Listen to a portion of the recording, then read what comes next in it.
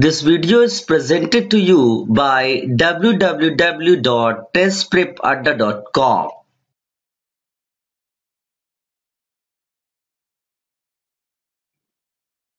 Dear students, in this session I will discuss another application of inductive effect that is to determine the basic strength of amines. Those who do not know, for them uh, RNH2. RNH2 is primary amine, primary amine.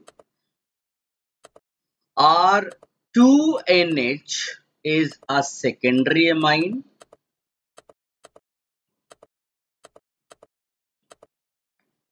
R3N is a tertiary amine.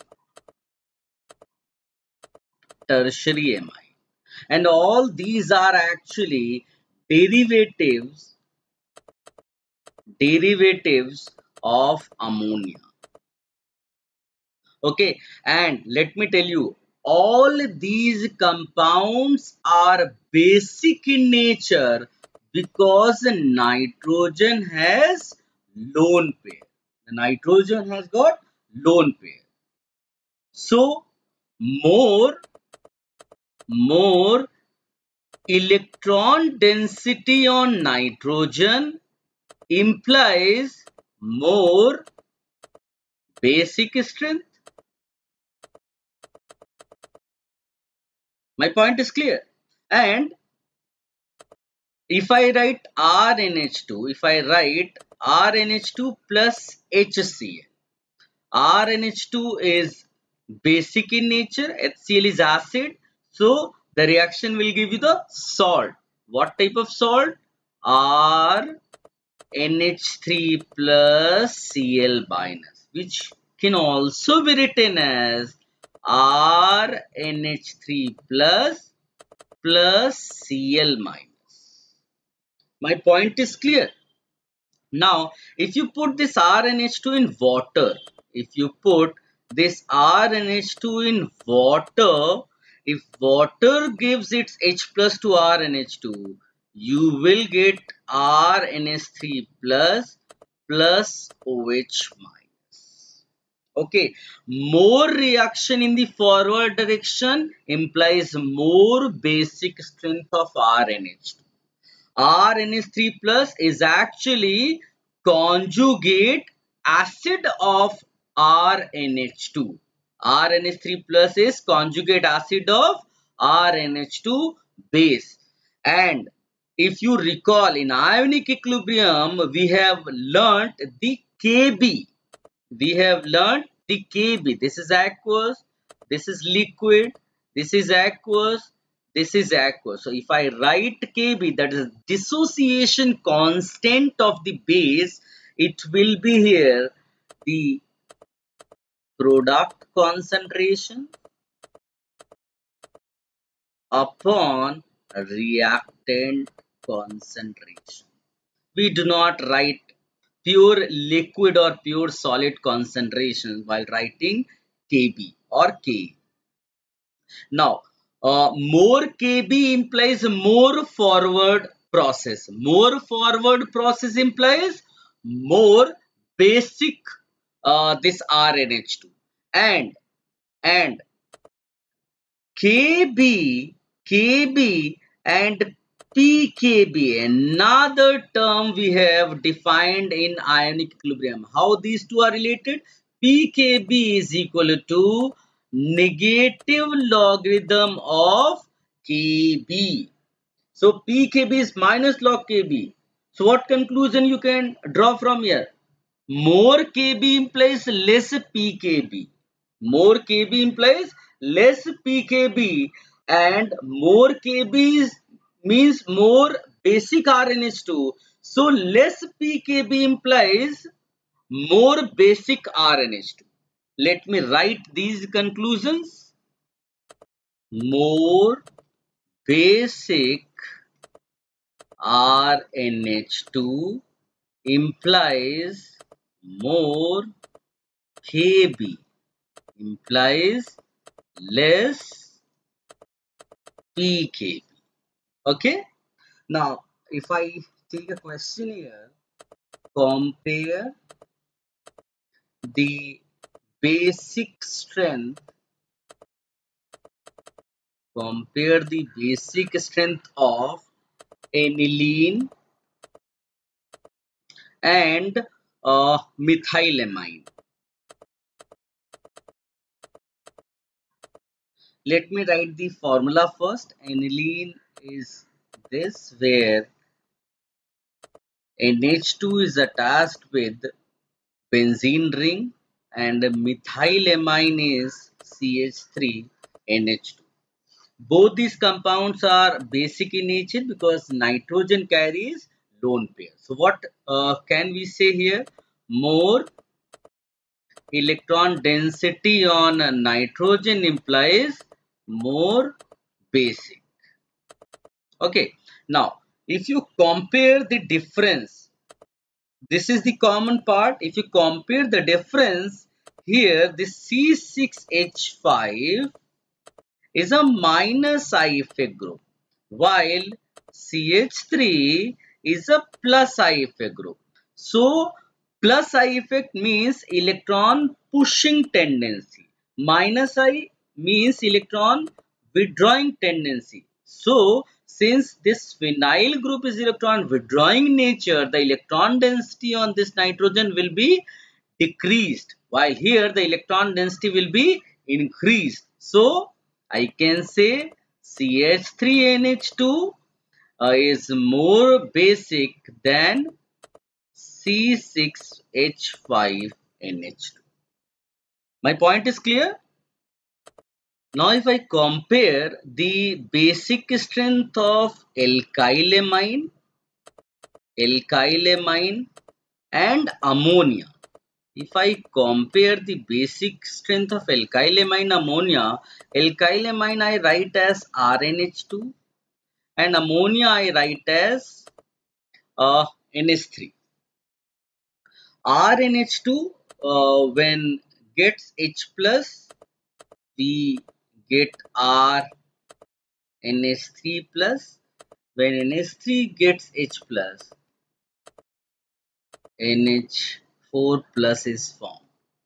Now here you can easily explain the basic strength because here R group is attached which is electron releasing group. And due to that the electron density of the nitrogen increases electron density increases. Electron density increases means basic strength increases. So easily you can explain that RNH2 is more basic than NH3 now what conclusion we can draw from here? The conclusion is uh, each hydrogen of NH3 when substituted by R the electron releasing group increases means the basic strength increases. On that basis, if I compare a tertiary amine, a secondary amine and a primary amine, then because three R groups means three electron releasing groups are attached, here the electron density will be the maximum. Then here, then here. So the order will be what? Tertiary greater than secondary greater than primary greater than ammonia. So tertiary amine more basic than secondary, more basic than primary, more basic than ammonia. The point is clear? But dear students, please note that this is valid only in gas state. This has been found correct only in gaseous state. This trend is not regular in the aqueous medium. Now question arises why?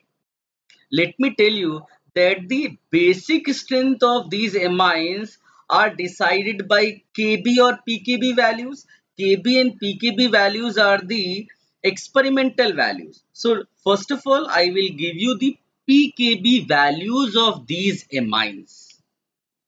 Here you can see in this chart the pkb value of nh3 is 4.75 that is ammonia and pkb value of methylamine is 3.38 the pkb value of uh, n comma n dimethylamine is 3.27 and for n comma n comma n trimethylamine it is 4.22 and for ethylamine it is 3.29 and for n comma n diethylamine it is 3 and uh, for n comma n comma n triethylamine it is 3.25 so on the basis of these pkb values if i try to write the order as we know less pkb implies more basic amine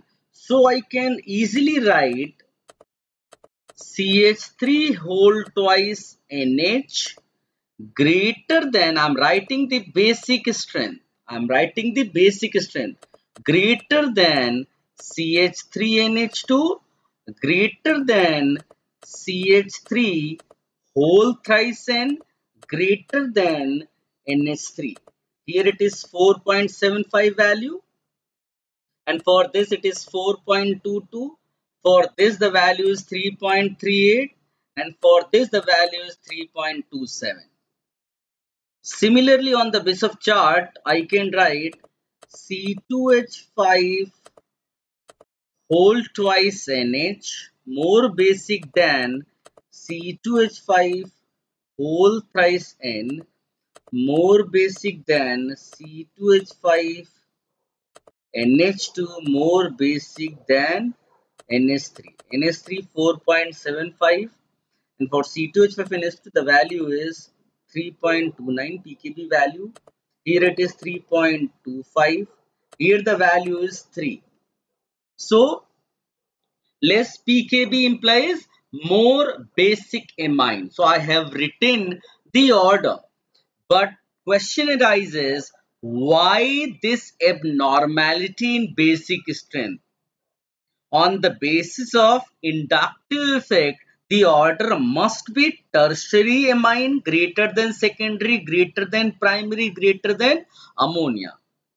But the order is not matching. Okay, now to explain this experimental fact, to explain this experimental fact, I will tell you again conjugate acid base theory.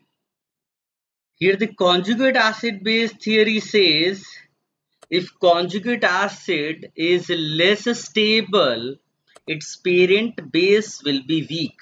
And if conjugate acid is more stable, more stable means less acidic. Its parent base will be strong. Uh, now, Conjugate acid means ammonium cation.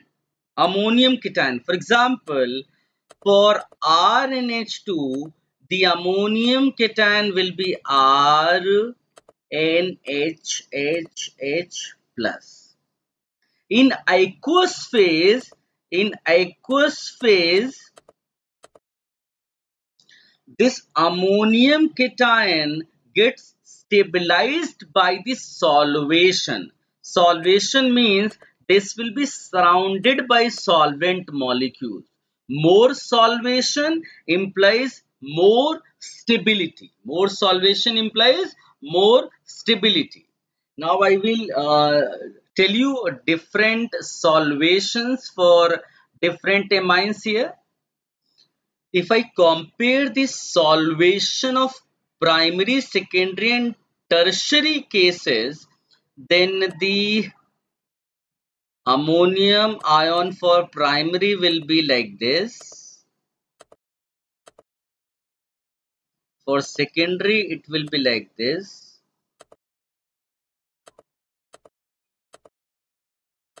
And for tertiary, it will be like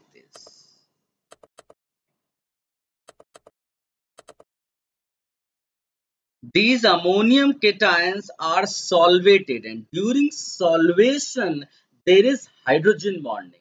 In the first case, in the first case, uh, the extent of hydrogen bonding is maximum because three hydrogen atoms are available for the hydrogen bonding. In the second case, the extent of hydrogen bonding is decreased and in the third case the extent of hydrogen bonding if I say aqueous medium it is least.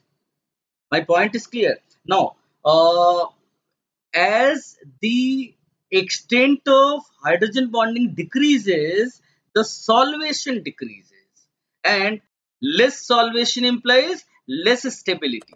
So first if I write solvation order then it is R NH3 plus greater than R2 NH2 plus greater than R3 NH plus. This is solvation order and that is why same will be the stability order.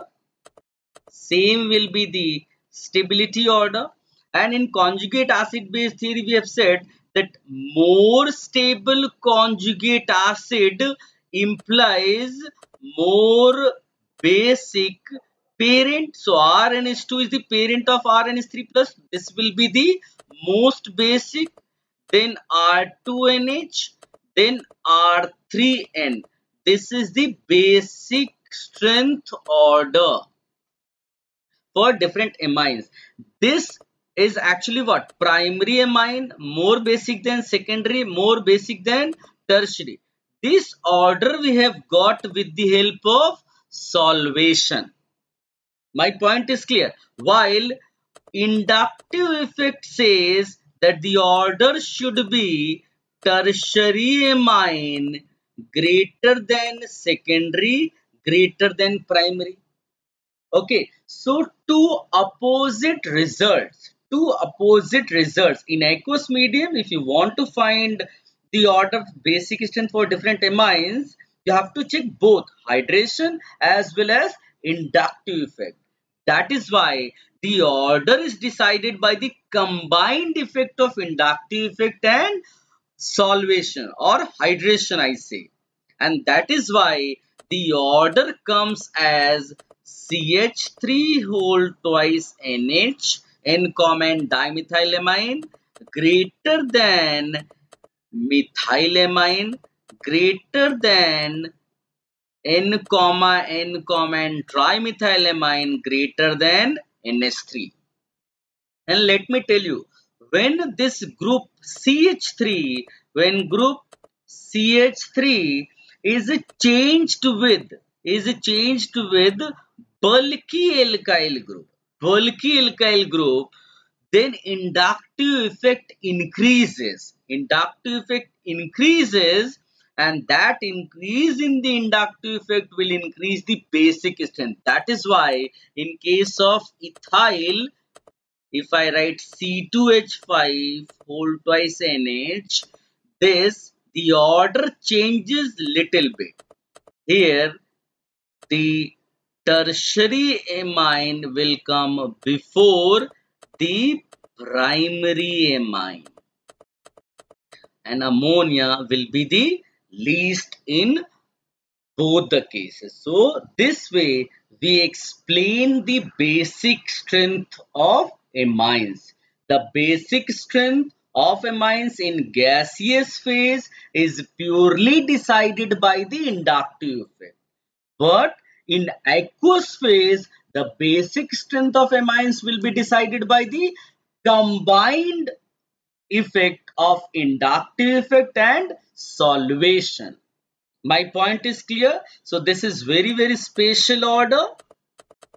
This is very, very special order. Okay. Now, uh, there are many more applications of inductive effect that we will discuss later on and in the next video lecture we will start the discussion of uh, inductomeric effect and mesomeric effect. Thank you. This video is presented to you by www.testprepadda.com. TestPrepAdda.com provides free audio-visual lectures of different subjects by expert faculties, free online tests prepared by expert faculties to students who are preparing for engineering or medical entrance exams or planning to take exams like KVPY, Olympiad, etc. It provides a platform where students can interact with mentors to improve their performance in the exams. The mission of this online medium is to help students to achieve their goals. Log on to www.testprepadda.com to watch free video lectures on different topics, to download free revision notes, to take free chapter-wise online tests, progressive test and mock test to discuss doubts with mentors. Thank you for watching the video. To stay up to date with the latest videos, subscribe to our YouTube channel. Like us on our Facebook page, Test Prep Adda. All the best.